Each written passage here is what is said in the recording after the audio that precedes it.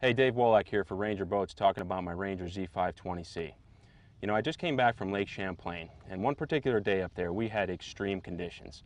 Five foot waves, thunderstorms, extreme wind, and I don't really care what boat you have. A lot of times if you're facing extreme conditions like that, stuff is going to get wet. And one of the features that's on this boat that's exclusive to this Ranger Z520C is it has a power rod locker ventilation system. And what that does is, with one push of the button on your touch panel, you could hear it come on. It sounds like a vacuum cleaner. And that's connected through ductwork in the whole front deck of your boat through all the rod lockers.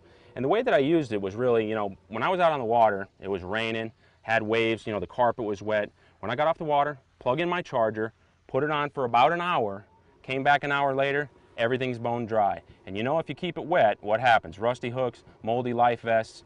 It's a great feature to have and just one more advantage of owning a Ranger.